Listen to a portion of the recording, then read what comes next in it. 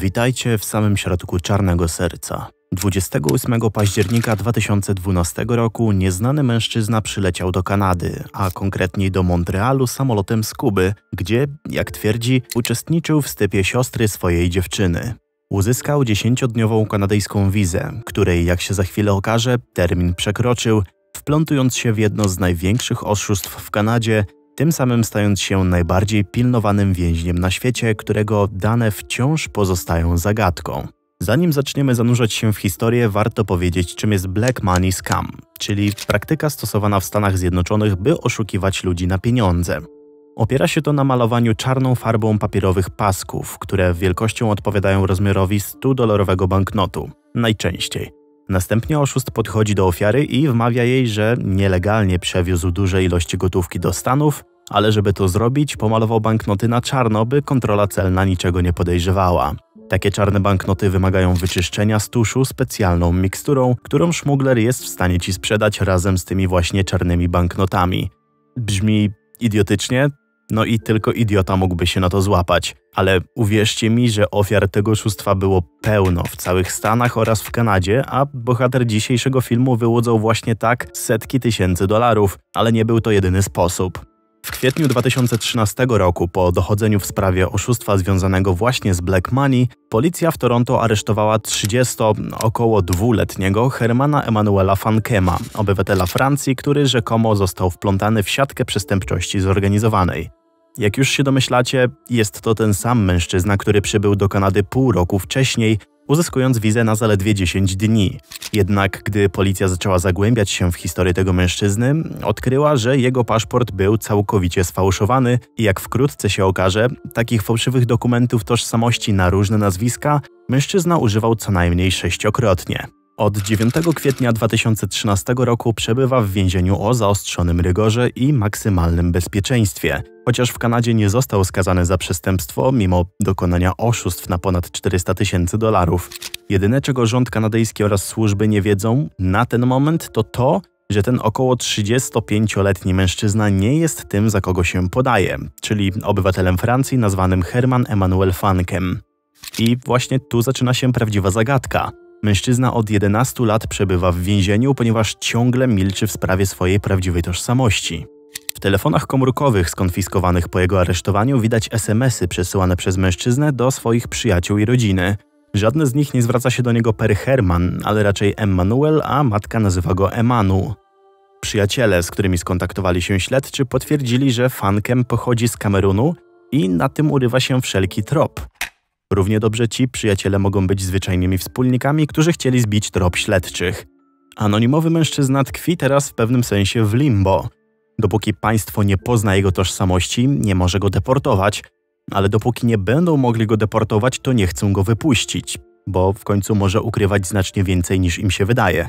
Jednym z podjętych kroków na początku przez władze było przesłanie odcisków palców mężczyzny do Interpolu, który ustalił osiem różnych tożsamości, z których wszystkie, jak sądzono, były przez lata licznymi pseudonimami tego człowieka.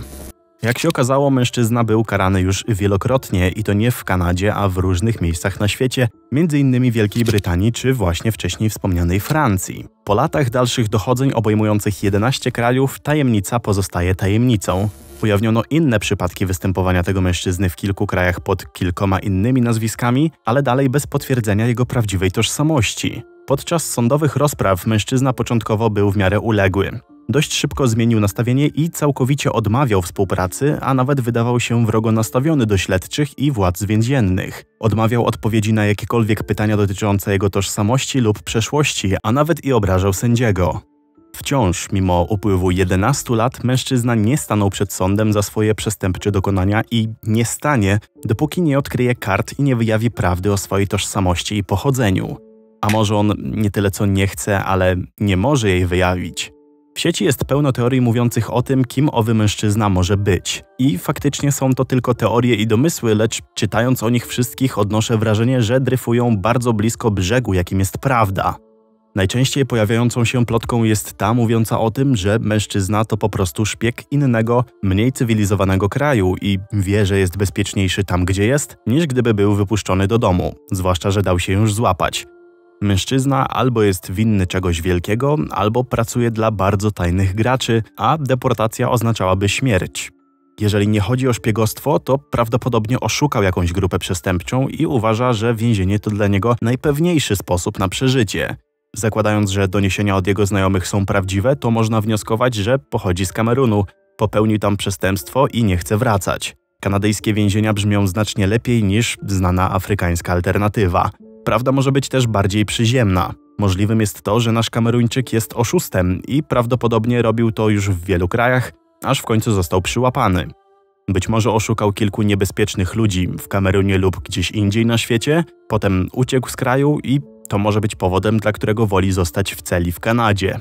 Cokolwiek jest powodem do ukrywania swojej tożsamości, musi być to coś naprawdę poważnego. Nie wierzę w to, by przesiadywał w więzieniu o maksymalnym rygorze dla własnego widzimisię. Na 100% musi nim kierować strach lub olbrzymia odpowiedzialność za coś, o czym jeszcze nie mamy pojęcia. Mężczyzna naciska na to, że jest Francuzem. W 2019 roku miał złożyć publiczne zeznania przed Komisją do Spraw Imigracji i Uchodźców, ale w ostatniej chwili zdecydowano, że będzie to przesłuchanie prywatne, na które nie będą mogły zostać wpuszczone żadne media ani opinia publiczna. Zgodnie z prawem kanadyjskim każde z tych przesłuchań ma odbywać się publicznie, chyba że zaistnieją nadzwyczajne okoliczności i najwidoczniej jest to jeden z takich przypadków. Oznacza to, że sprawa jest jak najbardziej poważna. W 2020 roku Sąd Najwyższy prowincji Ontario ustalił, że tajemniczy nieznajomy jest w rzeczywistości obywatelem Kamerunu, prawdopodobnie urodzonym w Duali i nosi imię Emmanuel.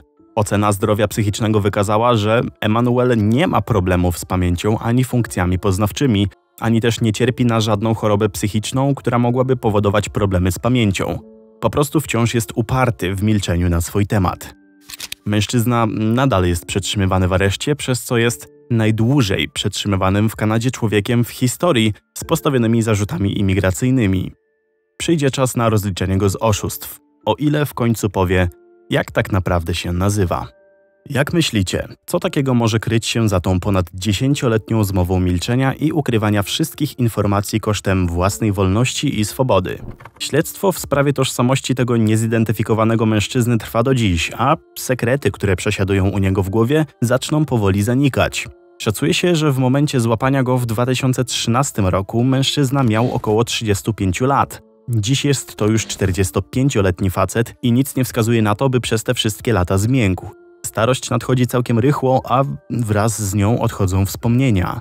Dopóki Emanuel nie zostanie ostatecznie zidentyfikowany, historia nieznanego człowieka pozostanie nierozwiązana.